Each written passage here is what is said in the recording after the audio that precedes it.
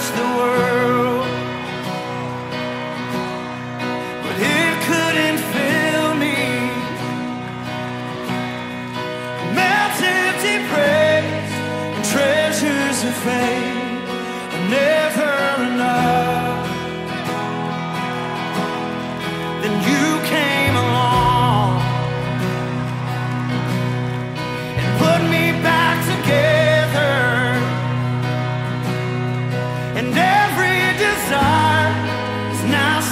satisfied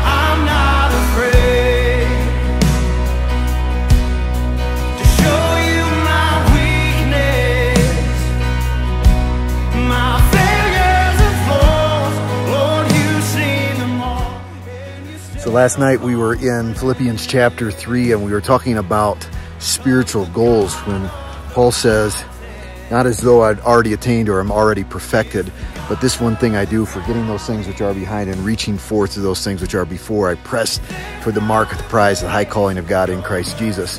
And we just talked about how we don't want to reach the point where we're just okay with the status quo spiritually, that we want to keep pressing on, that we want to keep endeavoring for the kingdom of the Lord.